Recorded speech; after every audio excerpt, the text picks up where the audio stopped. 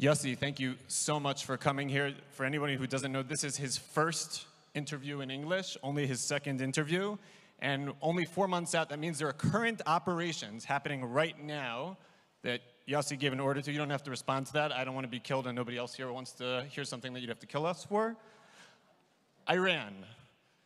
So there are a couple of things that happened in Iran in the last year or so. There were three different nuclear facilities happened to explode or be hit by a bolt of lightning or something. There was this guy, Mohsen Fakhrizadeh, the chief nuclear scientist, who was killed by some sort of science fiction remote control gun. Um, there is also that nuclear archive heist thing that also happened. All of these things, the Iranians and foreign sources say that uh, this happened from the Mossad. On the other hand, Prime Minister Bennett, Defense Minister Benny Gantz say we are worse off now with Iran than we've ever been before. They're up to 60% uh, enrichment with uranium. So, what is your legacy at this point? Well, thank you very much for having me here. I mean, that's uh, a great opportunity to celebrate Jerusalem Post for this very important event. Um, strange things are happening in Iran uh, that you've reported uh, that I cannot uh, make or have any comments to. But nevertheless, to the, to the actual things that are happening in Iran today, I have a different view. I think that in the end of the day, Iran till today, 2021, does not even close to acquire military, nuclear, or any nuclear weapons whatsoever. Not closer than it was in the past. And this is because of long lasting efforts that were done by some forces around the world. um, and I believe that this kind of an statement that uh, Iran is better off today than it was in the past, to my knowledge, based on the intelligence I read a few months ago, that was the last time I did, i have lost my license reading intelligence, um, is, uh, is not true. I think that the Iranian facilities are less, less capable of doing things as they did in the past. I think that they have less capabilities entirely as they had in the past. I think that they have less intentions, not less intentions, but less um, foreign support to what they're doing, less than they had in the past.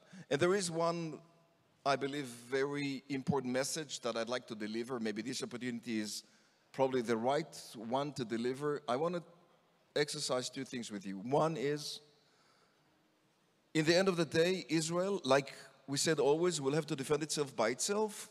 And if worse comes to worse, and Iran eventually will take the wrong turn towards a military bomb, Israel will have to act. Do we have the capability to do that when we don't have bunker buster bombs? I think that we'll have to develop capabilities to allow us to be absolutely independent, doing what Israel has done twice. Unfortunately, before in Iraq and in Syria. We all remember 81 and uh, Deir in Syria, I mean Iraq and Syria, both nuclear sites that were taken away. I think that they should not sleep quietly in Iran knowing that we have or not having this kind of capabilities. But I definitely believe that we have to develop that. Um, and this is one, a very important remark. I think the second remark is that if regaining power at what we call the path to the JCPOA to renew the JCPOA that was signed, and then eventually President Trump exited from the JCPOA some, some time ago, 2018, after the archive was brought into their intention too.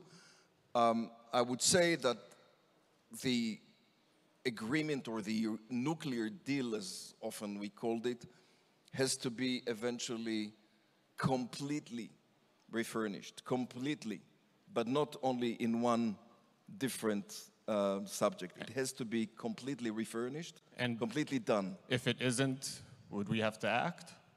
If it hasn't been um, taken the direction that I believe should be uh, the right thing to do, I believe that Iran will keep on having their capabilities as they have them today to enrich even high level of enrichment, like 60% today, maybe higher sometime in the future. I think that all these letters that present the nuclear deal, like uh, JCPOA, C stands for comprehensive. The agreement is not comprehensive.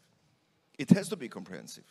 Comprehensive means that Iran does not have the ability to develop itself to the level of a threshold nation.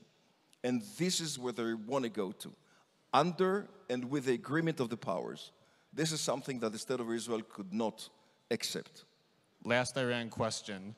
The IAEA itself has said that they are blind, that their cameras are gone. How worried do we need to be that some of that 60% uranium is being hidden right now? A former defense minister and IDF chief said that it's easier to hide that than anything else. I think that the IAEA, as I often refer to what Mr. Grossi has to do, is as the supreme court of the world's nuclear capabilities. He has to be today very tough, and he can be very tough since. And I can refer to the Prime Minister's last uh, speech at the UNGA, uh, United Nations General Assembly, just a few weeks ago. And he said, these three sites, Turkuzabad, Marivan, Tehran, all these sites that we've learned about from from the heist from 2018 that from you, the archive. It was, it was, mentioned there. We didn't do. We didn't know about these sites before. I think that Mr. Grossi should take these under considerations when allowing the nations to sign eventually or not signing the future JCPOA, unless Iran comes completely clean about their deeds in the past and today, a new agreement should not be signed, and he, Grossi, General Secretary of the IAEA should not allow that. Moving into politics, you uh, are a little bit more public uh, these days. What do you think of the current government? Do you think they'll last the full four years? I don't know. I think Shaked have just uh, answered this question. Okay. Um, there seem to be some people in the Likud who are worried about you running for prime minister of the Likud at some point in 2024 when there's the cooling off period. They seem to be leaking some stories in the papers recently. Would you run for the leadership of the Likud? Or a different party? I don't really know what they're worried about, but you better ask them. I mean, I'm, I'm not in politics. What about? I'm, I'm in business today. I'm sure that you've. Soft, SoftBank Israel. SoftBank Israel. But in 2024? SoftBank Israel would be greater. Okay. You've been to the UAE, Saudi Arabia, Bahrain, Sudan, all of these uh, countries. Do you think the Saudis will normalize ties with Israel and when? Um, well, first, I believe that uh, we're celebrating the Abraham Accords, and yesterday, I mean, uh, Secretary of State Mike Pompeo, former Secretary of State Mike Pompeo, was here uh, receiving a kind of an um, honor uh, ceremony celebrating his doings and together with the Trump administration and Ambassador Friedman and others. Um, I think that was one of the greatest um, diplomatic moves on the Middle East ever. I think it is uh, vital important our existence, not, not only referring to all these directors that we hear, CEOs of international companies and local companies uh, to strengthen our economy, it helps um, pushing the evils away and working with the good guys, working with the good states. I hope that this wave will continue.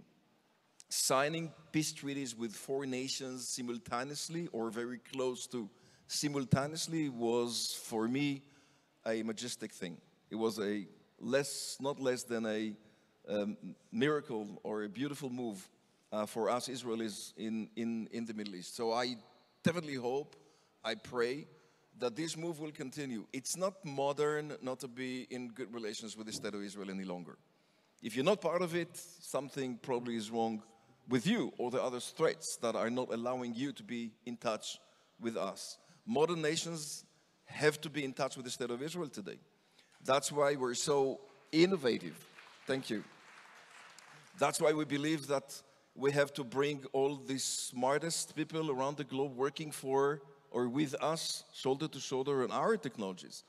And I truly believe that the light from the State of Israel reaches everybody. And it is known by all nations that there is a lot of gain, not only to us, but mutual um, interest could be completed if we are in good relations with the others and then with us.